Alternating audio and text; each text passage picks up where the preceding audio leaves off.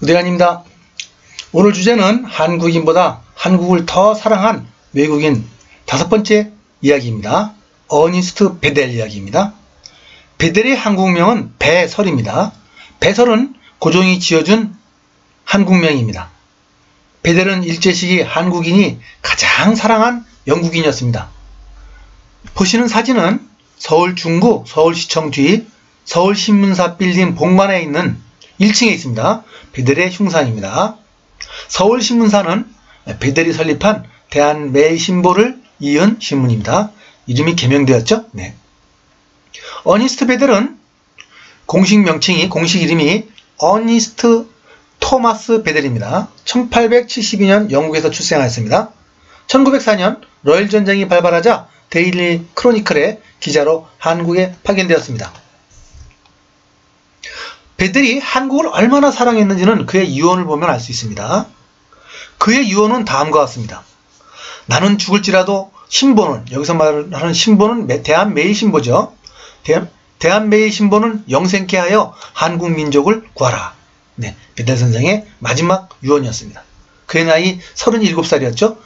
어, 매우 일찍 돌아가셨습니다. 일본의 강한 반발과 연이은 고소로 영국 정부는 일본의 손을 들어줬습니다. 재판 끝에 3주 금고형으로 상해 영국 대사관에 감금되어 있는 등 고초를 겪은 것이 화근이 되어 심장 비대증으로 너무 일찍 서거하셨습니다. 참으로 안타깝습니다. 베델은 아까 말씀드린 대로 1872년 영국 브리스톨에서 출생하였습니다. 1904년 러일 전쟁이 터지자 영국 데일리 크로니클 기자로 내한하였습니다. 네. 내한하자마자 사직을 하고 대한 크로니클 기자를 사직을 하고 1904년 7월 18일 영, 양기탁 선생 예, 이분은 양기탁 선생이죠. 상해 임시정부의 국무장까지 지낸 분입니다. 독립운동가입니다. 양기탁 선생과 함께 대한매일신보를 창간하였습니다. 자, 보시는 그림은 대한매일신보 창간호입니다. 1904년 7월 18일 날 창간했습니다. 대한매일신보는 치해복권을 활용하여 배들을 창업주로 내세우고 국한문, 한글, 영문판으로 인쇄되어 배포되었으며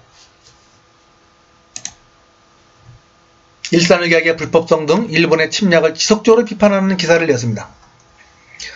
보시는 사진은 대한매일신보의 대한매일신보의 편집국 모습입니다. 매우 시기하고 중요한 사진으로 평가받고 있습니다. 대한매일신보는 한때 1만 부가 팔리는 큰 규모의 신문이었습니다. 대한매일 신보의 주요 기사는 다음과 같습니다.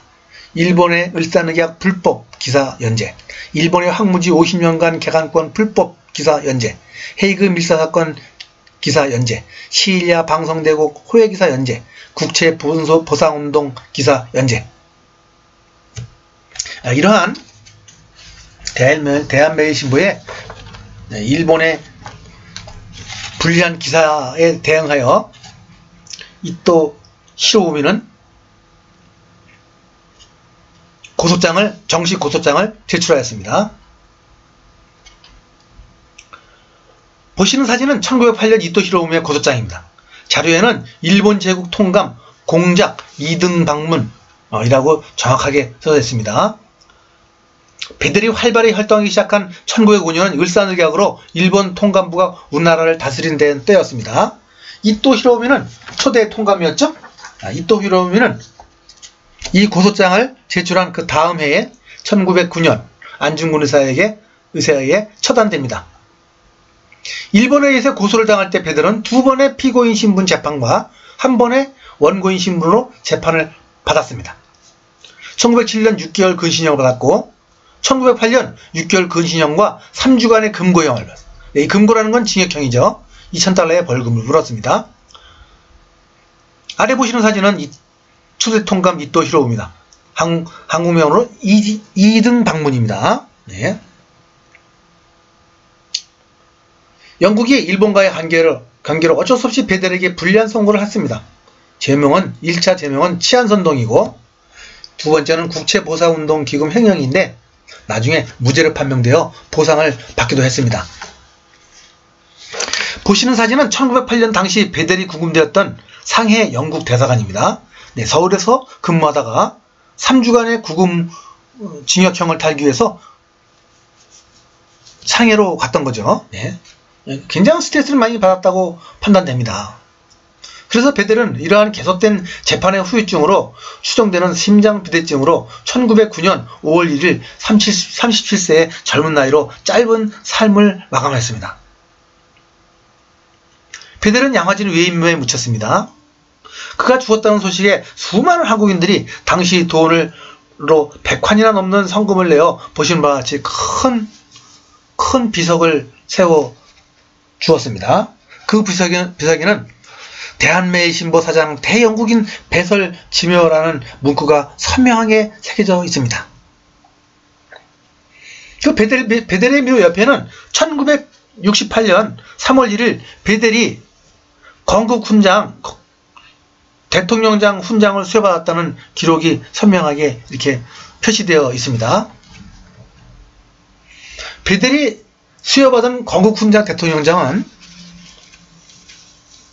대통령장은 건국 훈장 다섯 종류 중에서 두 번째로 높은 훈장입니다. 제일 높은 게 대한민국장이죠. 대한민국장, 대통령장, 독립장, 애국장, 애족장. 우리나라 독립운동가 중에서도 이 대통령, 대통령장까지 받은 사람은 그리 많지 않습니다. 어니스트 토마스 베델, 한국명은 배설, 한국인보다 더 한국인 같은 삶을 살다가 간 독립유공자입니다.